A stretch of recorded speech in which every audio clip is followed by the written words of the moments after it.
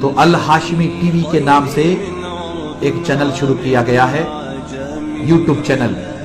आप यूट्यूब में जाएँ, अल हाशमी टीवी सर्च करें और उसके बाद अल हाशमी टीवी को आप सब्सक्राइब करें और जुड़ जाएँ, वाबस्ता हो जाएँ, दोस्त अहबाब को भी इसकी तरगीब दिलाएँ।